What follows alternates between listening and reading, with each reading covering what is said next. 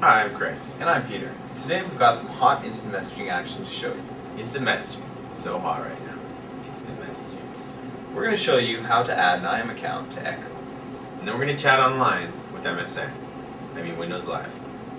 This is going to be awesome. So awesome.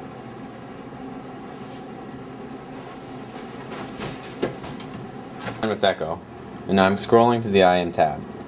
You can see I have three accounts, MSN, Yahoo, and Google Talk. I expand Google Talk, and you can see my contacts. Any IM accounts yet? My IM tab shows us all the wonderful IM accounts that I can add.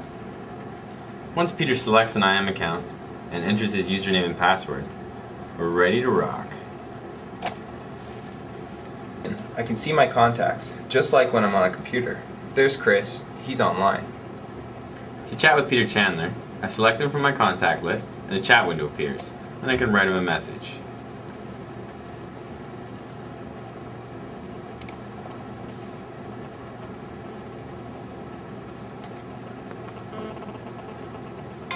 There's Chris's message. I'll send him one back.